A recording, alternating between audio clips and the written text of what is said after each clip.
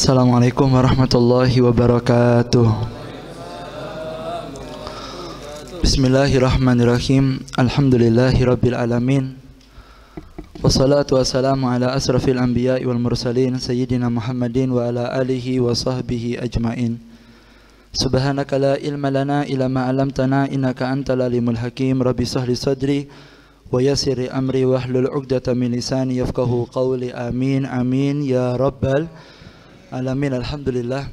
Nikmat dari Allah Subhanahu wa taala di malam yang mulia ini kembali kita bisa kumpul di majlis ini pembukaan majlis yang mulia ini yaitu majlis zikir wa ta'lim alhamidiyah wa salawat Semoga dengan dibukanya majlis ini Allah Subhanahu wa taala terus memberikan kita keistiqomahan. Semoga dengan sebab kita berzikir, bersolawat dan belajar di tempat ini menjadi sebab kesalahan kita dimaafkan oleh Allah taala, keburukan kita ditutup dan yang paling kita harapkan semoga umur yang singkat ini Allah tutup dalam keadaan taat dan dalam keadaan husnul khatimah. Amin ya rabbal alamin. Salawat dengan salam selalu tercurah limpahkan kepada junjungan kita baginda agung Nabi besar Muhammad sallallahu alaihi wasallam.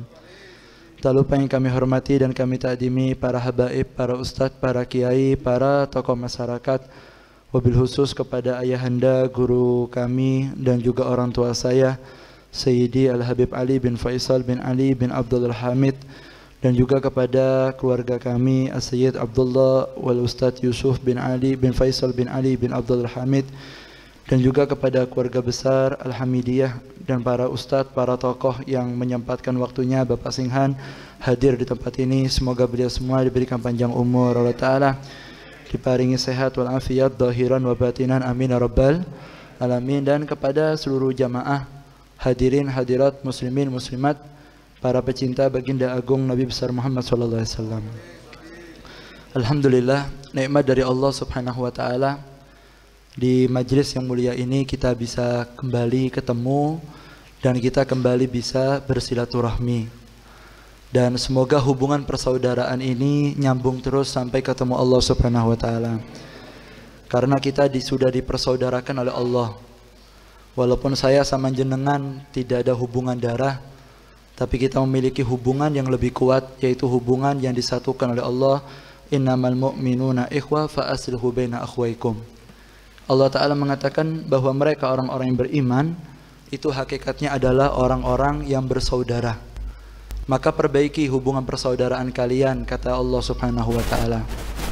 Maka orang yang paling baik di dalam menjaga hubungan persaudaraannya yang mau berkorban untuk satu dengan lainnya dialah yang terbaik kata Nabi Muhammad sallallahu alaihi wasallam.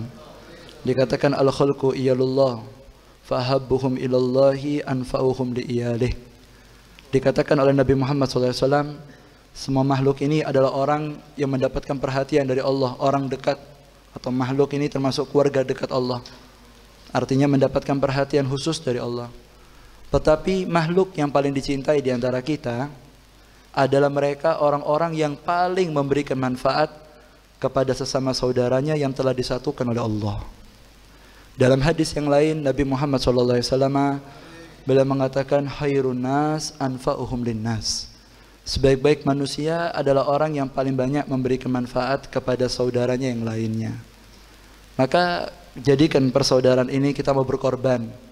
Satu dengan lainnya membantu satu dengan yang lainnya karena itu yang diharapkan oleh Nabi Muhammad SAW.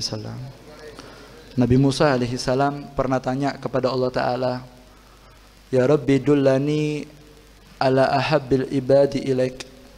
Ya Allah tunjukkan kepadaku siapakah hambamu yang paling kau cintai. Ternyata Allah Ta'ala menjawab bukan yang banyak sholatnya, yang banyak wiritannya, boten. Tapi yang dijawab oleh Allah Ta'ala, Ya Musa, ahabul ibadi ilai. Sesungguhnya hamba yang paling aku cintai, kata Allah Ta'ala, adalah mereka orang-orang ida sami'a bi anna akhahu syagahu syagathu syaugah hazina laha ka'annaha syagathu huwa.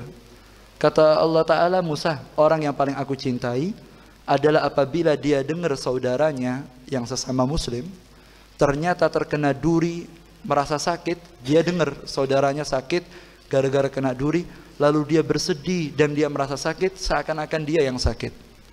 Karena kepedulian dengan saudaranya itulah yang menjadi sabab derajatnya diangkat oleh Allah Subhanahu wa taala. Para sahabat niki Pak, orang yang mulia, dekat dengan Nabi Muhammad wasallam. Tidak ada orang yang mulia melebihi para sahabat setelah para anbiya wal mursalin. Karena mereka orang-orang yang dipilih oleh Allah untuk mendampingi manusia yang paling suci yaitu Nabi Muhammad wasallam. Ahli salat, ahli dikir, tetapi yang dipuji oleh Allah bukan salatnya. Yang dipuji oleh Allah bukan dikirnya. Tetapi yang dipuji oleh Allah wa yu'thiruna ala anfusihim walau kana bihim. Yang dipuji oleh Allah mereka para sahabat bukan orang yang tidak salat, salat, dikir, qiyamul baca Al-Qur'an. Tapi yang dipuji oleh Allah mereka adalah sekelompok manusia yang mau berkorban untuk saudaranya sekalipun dirinya harus susah, sekalipun dirinya harus kurang, sekalipun dirinya harus sakit, yang penting dia bisa lihat saudaranya dalam kebahagiaan bahagia. Ini yang dipuji oleh Allah dan inilah bukti kesuksesan Nabi Muhammad ketika mendidik masyarakatnya, anggota majelisnya dan umatnya memiliki kepedulian satu dengan lainnya. Ini diharapkan oleh Nabi Muhammad SAW. Jadi kadang-kadang nih manusia ini tidak ketara, Pak. Sayangnya secara dohir tidak ada nilainya. Tapi ternyata dia nilainya tinggi di hadapan Allah karena kepeduliannya dia kepada sesama umat Nabi Muhammad SAW. Mas, dulu tuh ada satu orang bernama Sayyidina Wes Al-Qarani. Ini orang soleh, tidak pernah ketemu sama Nabi Muhammad SAW. Hidupnya habis untuk ibadah. Itu beliau diceritakan, beliau kalau sudah malam ngomong hadihi lailatul ruku. Malam ini malam ruku itu satu malam habis sholat isya, sholat sunnah, ruku terus sampai datang waktu fajar. Seandainya beliau bilang hadihi lailatul sujud, sujud terus dihabiskan untuk sujud. Begitu terus. Kebiasaan beliau yang istimewa dari itu, beliau itu setiap hari mencari baju, Pak. Dari tempat sampah atau dari baju-baju yang tidak kepake, itu diambil dicuci. Lalu disedekahkan. Ada makanan yang sekiranya bisa dimanfaatkan, dibagikan. Setiap sebelum tidur beliau berdoa. Sebagaimana doa ini dicantumkan oleh Imamul Haddad dalam kitabnya Dakwah Utama. Wasallallahu berdoa, Ya Allah, seandainya malam ini ada saudara saya yang muslim mati dalam keadaan tidak pakai baju, jangan salahkan saya ya Allah, karena saya tidak punya baju ya Allah. Seandainya ada saudara saya yang hari ini mati dalam keadaan tidak dalam keadaan lapar, jangan salahkan ya Allah, karena saya tidak punya makanan. Saya sudah bagi sebisa saya, sisanya saya tidak punya kemampuan ya Allah. Dengan ini, dengan kebersihan hatinya, dengan ibadahnya, dan buah dari ibadahnya punya kepedulian kepada saudaranya, sehingga beliau terkenal di hadapan Nabi Muhammad sekalipun tidak pernah ketemu dengan Nabi Muhammad SAW. Sampai Rasulullah mengatakan, majhulun fil ardi, ma'rufun fis sama. Di dunia tidak terkenal. Di dunia tidak ngereken orang. Tapi ma'ruf sama, terkenal di langit Allah Subhanahu wa taala. Karena apa? Karena ibadahnya dan buah dari ibadahnya punya kepedulian kepada sesama umat Nabi Muhammad sallallahu alaihi wasallam. Makanya jangan sampai panjenengan ini punya anak sampai didik anak sampean ternyata menjadi anak-anak yang tidak mau berkorban. Menjadi anak-anak yang tidak mau berjuang. Menjadi anak yang tidak mau berbagi. Jangan tanamkan pelit kepada anak panjenengan.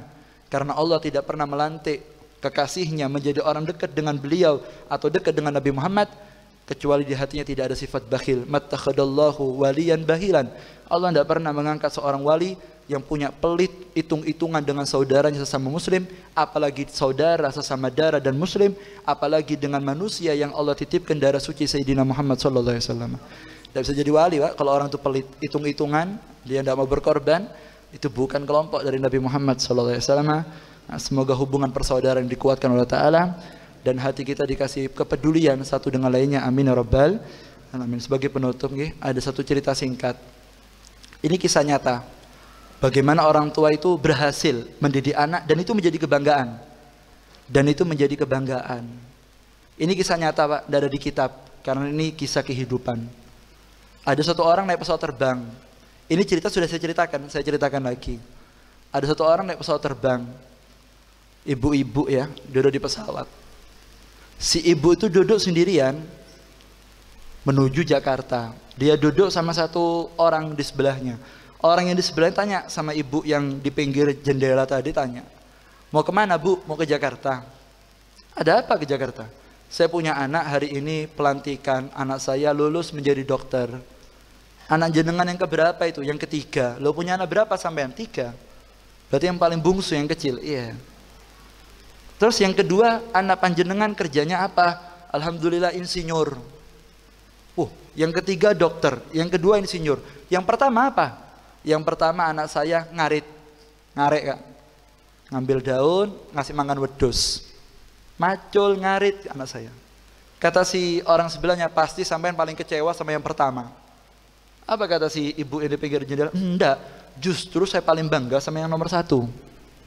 Lo tanya lagi loh, itu ngarit kok. Yang kedua insinyur, yang ketiga dokter. Apa kata si ibu? Iya, yang kedua insinyur dan yang ketiga dokter, semua biayanya ditanggung oleh yang nomor satu yang kerjanya ngarit. Peduli sama saudaranya. Jangan sampai saudaranya susah seperti dia. Dianya udah dapat pangkat, dia udah dapat predikat, yang penting saudaranya senang. Dan ini membuat bahagia orang tua. Dan itu membuat bahagia kebanggaan daripada orang-orang yang mengerti pendidikan dari Nabi Muhammad SAW. Maka persaudaraan kita yang sudah disambung di majelis ini dan di majelis yang lainnya karena Allah harus kita pertahankan dengan saling peduli satu dengan lainnya. Dan di situlah akan berbuah kebanggaan dari Nabi Muhammad SAW sebagaimana itu yang diinginkan oleh Allah Subhanahu Wa Taala. Semoga hubungan ini diperkuat oleh Allah Taala ya. Dijadikan satu hati kita sebagaimana dulu Sayyidul Walid membiayai adik-adiknya Pak. Adiknya itu dibiayai sama Abi. Kerja ngoyo-ngoyo, yang penting adiknya tidak sampai capek. Semoga ahlak yang mulia itu masuk kepada hati kita semuanya, kepedulian satu dengan lainnya, dan semoga dengan dibukanya majelis ini terbuka lagi hati kita untuk jadi orang yang lebih baik dan menjadi sabab dosa dimaafkan oleh Ta'ala. Kurang lebihnya saya mohon maaf. Hadamini walafuminkum. Assalamualaikum warahmatullahi wabarakatuh.